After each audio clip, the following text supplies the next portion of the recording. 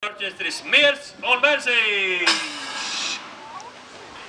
Un mēs jums veltīsim skaistas Raimonda Paulā melodijas, kuras atcerētas speciāli mūsu ansambliem orķestrim. Un šis veidojums ir vienīgais pasaulē orķestropēts. Tā kā būsim aktīvi un ziedosim viņa tehniskajam nodrošinājumam, jo viņam prasa tehnisku uzpasēšanu. Un, protams, mums arī ir pārsteigumi, bet par tiem vēlāk.